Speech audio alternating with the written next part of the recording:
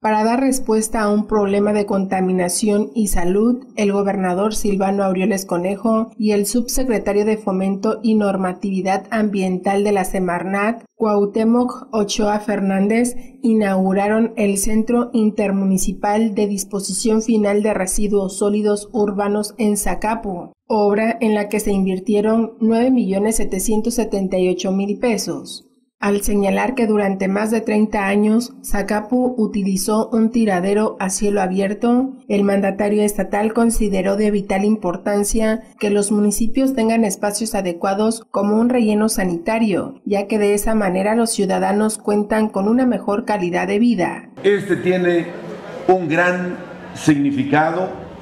porque tiene que ver con la salud de los habitantes de Zacapu tiene que ver con la salud de los habitantes de la región. Pero aparte de que podemos evitar problemas de salud, pues podemos generar ingresos, podemos generar recursos económicos a través de otros productos que se generan a partir de la basura. En ese sentido, informó que en la entidad solo operan 36 rellenos sanitarios. Por ello, manifestó la importancia de trabajar de manera coordinada los tres niveles de gobierno para hacer frente a ello. Aureoles Conejo dejó en claro que se buscan las alternativas necesarias para atender esta problemática, pues el objetivo primordial de la administración que encabeza es atender las demandas de la ciudadanía. En su oportunidad, Cuauhtémoc Ochoa reconoció a Silvano Aureoles como un gobernador comprometido con el tema ambiental. La gente que pepena allá arriba, según también la COFEPRIS,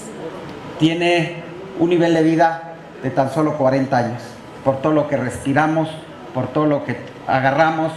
porque la gente no tendría por qué estar trabajando aquí, tendría que estar trabajando en esta galera como el gobernador Silvano se está comprometiendo y nos está comprometiendo a nosotros como gobierno de la República a trabajar de la mano, porque como lo dije en un principio, solamente he estado con un gobernador y un presidente municipal que habla del compromiso e invierte en dinero